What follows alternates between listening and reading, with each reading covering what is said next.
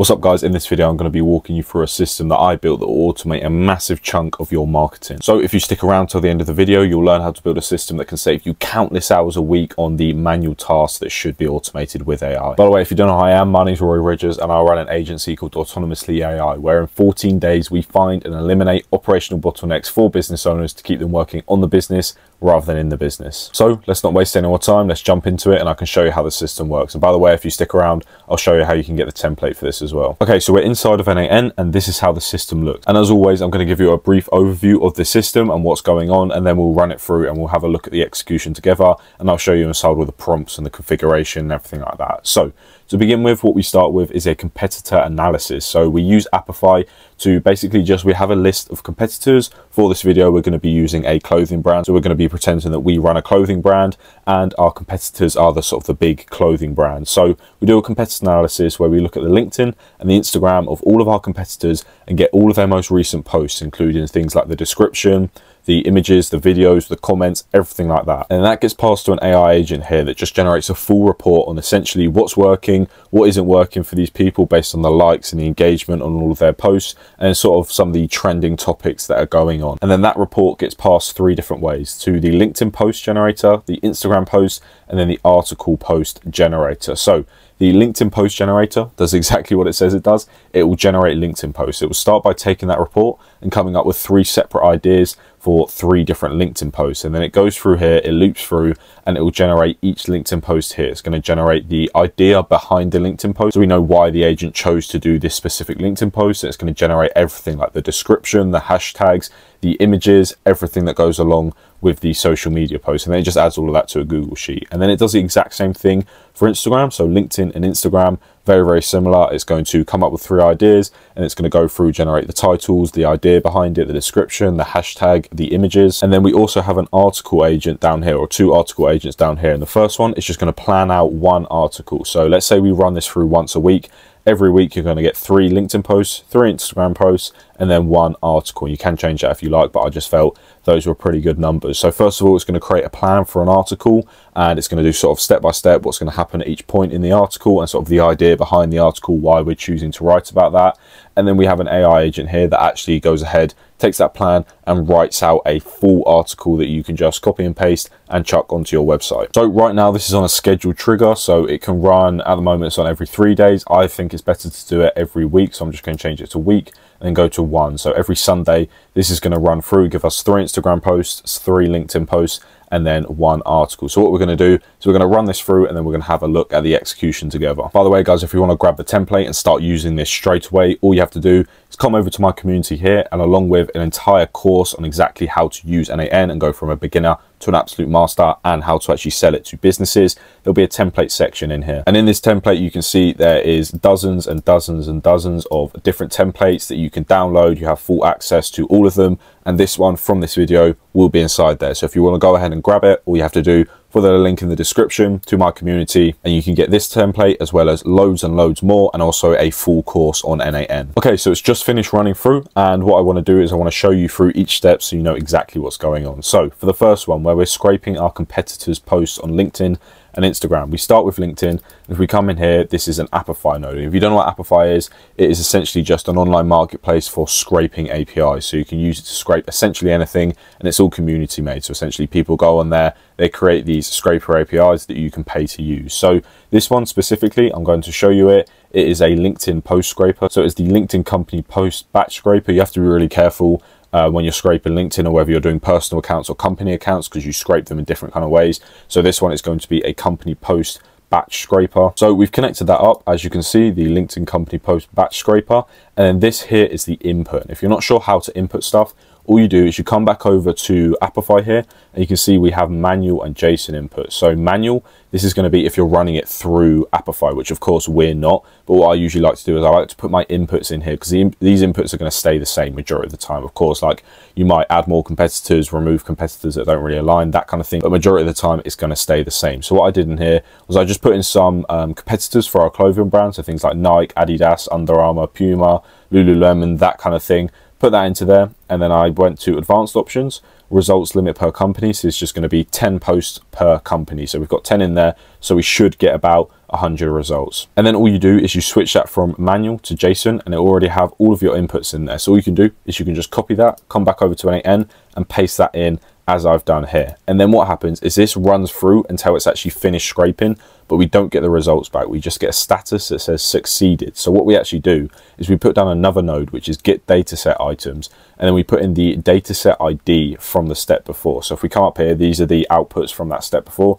We can just type in dataset, and you can see we get this variable here, the dataset ID, and we just drag that in there. And this is just a unique key that is tied to that data that we just generated. So when we hit Apify again with this key, we now get the data back. So we got 50 items just because I limited it to 50. And this is the kind of information we get. That we get like the post URL, when it was posted, the text of the post, um, the author, the stats, so like the reactions, the likes, the support, the love, the insight, celebrate, entertainment, comments, repost, and then the images. So obviously this one was a carousel because there were a lot of different images, as you can see.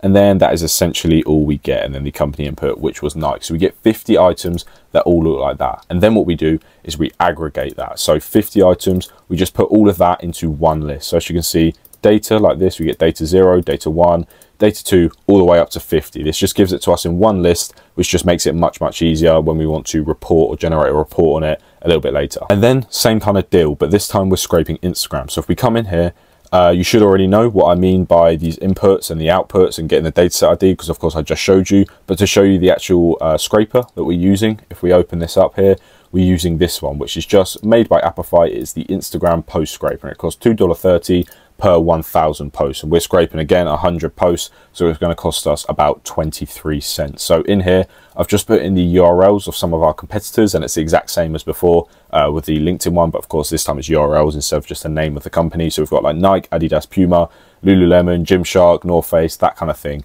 Um, so we put the inputs into there. Again the maximum post per profile is 10 this time we can also do a date range in here but i haven't done that so all we do is we switch it to JSON, we get this input, copy that, come back over to N8N, and then we just paste that in. And then again, we get an output that looks like this. It just says the status is succeeded. Perfect. So then we get the dataset items, put in the dataset ID, which was this ID here, and then this is the output we get. So the type, which is a video, the caption, why risk it because you can, hashtag just do it. So obviously this is Nike.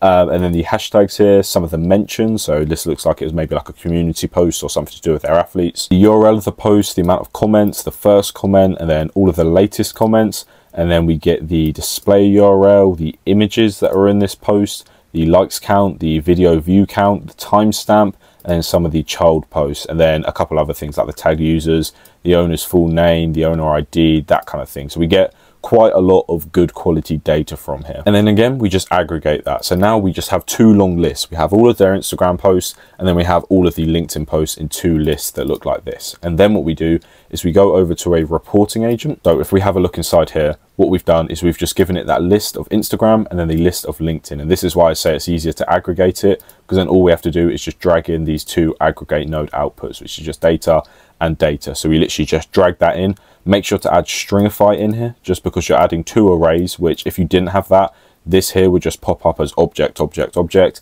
Um, and it's a little bit scary when that happens because it doesn't really tell you what you're meant to do. And a lot of the time before I used to get tripped out by that and didn't know what to do. So if that ever happens to you where you have two arrays in an input, all you have to do is just add json.stringify at the beginning and it will just turn it back into an array as you can see. So that is our user prompt where we're giving it the list of LinkedIn posts and the list of Instagram posts. And then we have this pretty simple prompt in here that just says you'll receive two large outputs containing Instagram and LinkedIn posts from my competitors.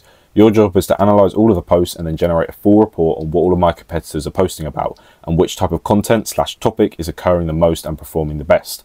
And then I've just given it a little bit of context, like you're a part of a system that runs every single week. So you'll be generating reports like this weekly. The reason I say this is because I don't want you to output generic examples and topics of what they're posting about. It needs to be the exact kind of content that these guys have been posting in the past week so we can replicate the top performing post. Because I found when I first testing it, it was just outputting as if it was only doing it one time. So it was just saying, oh, they're posting about sports, they're posting about their clothing brand. And because we're running this weekly, we want it to be like specifically what are they posting about in that week, like any trends that they're jumping on, any new product launches, that kind of thing is what we want to know in our report. And then it goes down the LinkedIn post. And what I'm going to do here is I'm going to show you just the LinkedIn post because the Instagram post is the exact same. We'll briefly run through the Instagram post, but want to dig deep more into the LinkedIn post system because as I said, these two are the exact same, just with very slightly um, different prompts. So in here, what we have is the first agent that's just going to generate us ideas. So what we do is we give it the report that that report generator outputs, which looks something like this. Here's a detailed analysis and report for your competitors' Instagram and LinkedIn activities over, over the past few weeks. And then it says things like um, competitors covered, so all of the competitors that it covered. And then Nike, their theme was elite athlete endorsements and events, highlighting performance of elite athletes, and then some examples and then events with employee participation. As you can see, I'm not going to read out this whole thing because it is huge, but it just gives us a full analysis and breakdown of everything that they're posting about. So we pass this to our LinkedIn post agent and we essentially just say to it, you're going to receive a report on what our competitors are doing that I just showed you. Um, your job is to generate three LinkedIn post ideas. So look at their top performing content, understand what type of content in general does better on LinkedIn, which is more professional and more corporate, as opposed to something like Instagram, which is a bit more fun and light-hearted. And then plan three post ideas and output them. And then for all the agents, I've just given it a bit of context. It says you're part of a system, scopes my competitors to help me generate social media content.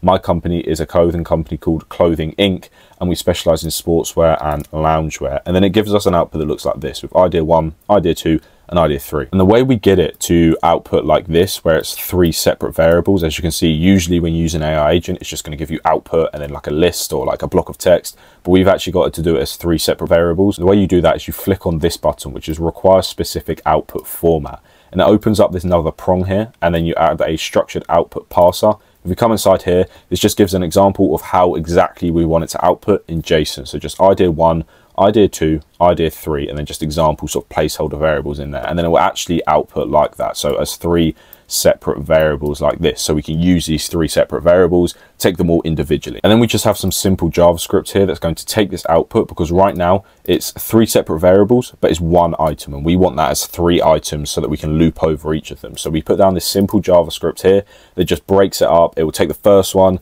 then it will take the second one, then it will take the third one and output it as three items. As you can see, if we look at a table view, three items. So it just breaks them from one item as three variables to just three separate items. And then we loop over each of them. So we add a loop over items node.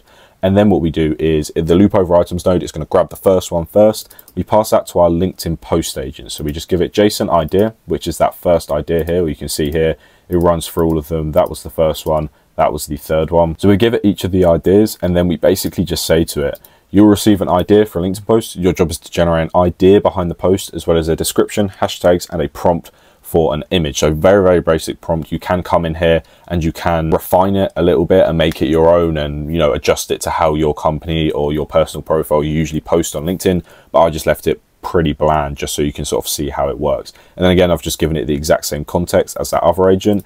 And then again, as the other agent, we flicked on the require specific output format. And if we have a look here, what we've done is we've just done it as idea, description, hashtags, and image prompt. And then it outputs like this with the idea, the description, the hashtags, and then the image prompts. Perfect. And then what we do is we add a generate an image node. So this is just OpenAI, generate an image. We're using GPT image one.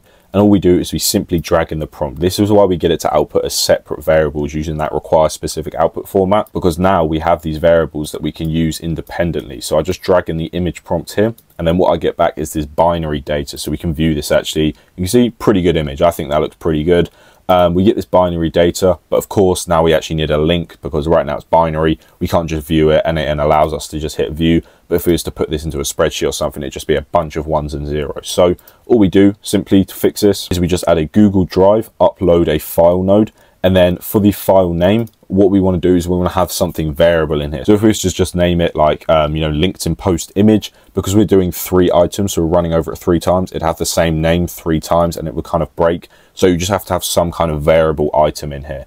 And the, the best way I decided to do that, you can do whatever you want, but I just put, if we go to LinkedIn post, I just put the idea in there. So now the image in my Google Drive is just going to have the name of the idea. So yeah, you see what I mean? It needs to be a variable, otherwise it's going to be named the exact same thing three times and it'll just break your system because it won't allow you to do that. And then doing it that way, we get this web view link. And then what we do is we simply add all of that into a Google Sheet. So I want to show you the Google Sheet actually. This is how our Google Sheet looks. You can see we have LinkedIn posts, Instagram posts, and then articles. So we've got platform, idea, description, hashtags, and image as a header. I just realized I spelled hashtags wrong. Can you believe it? There we go. Hashtags, description, and image. Awesome. If we come back over to N8N, you can see we've already filled out the platform as uh, LinkedIn because everything that comes down this route is going to be a LinkedIn post. So we might as well just fill it in as LinkedIn. And then we simply just drag in the idea, the description, the hashtags. And then if we come to this Google Drive node we drag in the web view link as the image. So then in our spreadsheet it looks like this where we have a link so we can actually view it. So if we view this one you can see this is what we get perfect and then like I said these two systems are pretty much the exact same the only slight difference in here is just in here rather than saying um, like LinkedIn's corporate and stuff We've just said, of course, you're going to be doing it for Instagram, which is more fun and light-hearted content. That is literally the only difference. And we've just mentioned um, Instagram rather than LinkedIn in here. So I'm not going to bore you and walk you through this as well because it is just the exact same as this up here and it outputs the exact same thing. Um, but of course, tailored for Instagram more. And in here, this says Instagram rather than LinkedIn. And then the other component of this, which is the article uh, planning and writing down here. So if we have a look inside here, we basically just give it the report from that step before. So all of these at the beginning are just grabbing the report. So we give it that report and we just say very simply, you will receive a report on what our competitors are currently doing on social media. Your job is to generate a plan for an article based on the top performing piece of content from the report. Please identify what the best type of content to do an article on would be and then output a full in-depth plan. And then I've just given it that exact same piece of context. That gives us an output that looks something like this. So most effective topic for an in-depth article for Clothing Inc. would be how champion athletes shape the future of sportswear innovation. Real stories, real performance. And then it's given us this full plan here on a article to write. So you can see it's very, very in-depth. I'm not going to bore you and sit here and read out the entire thing, but you can see um, very in-depth. So article plan, it's given us the title again, article type, feature, thought leadership focus with embedded customer slash ambassador stories. And then the intro, which is 150 to 200 words, it's given us the hook, and it's given us, uh, you know, the second part, which is 300 to 400 words. So very, very in-depth plan here.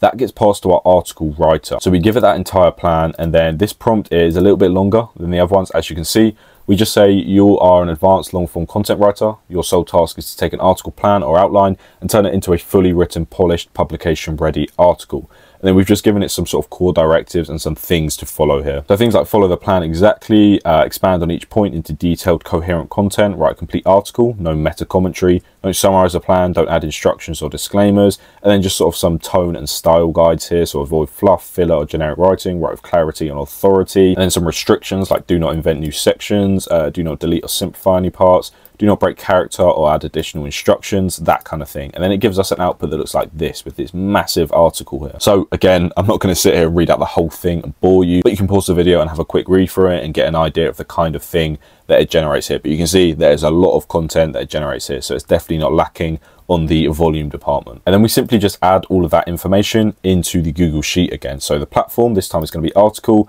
And then because there's no idea, hashtags or image with it, we just put in the description, the output of the article writer. So using this system, you're able to automate all of your competitor analysis, and then also automate all of your content generation for all of your social medias as well as your website.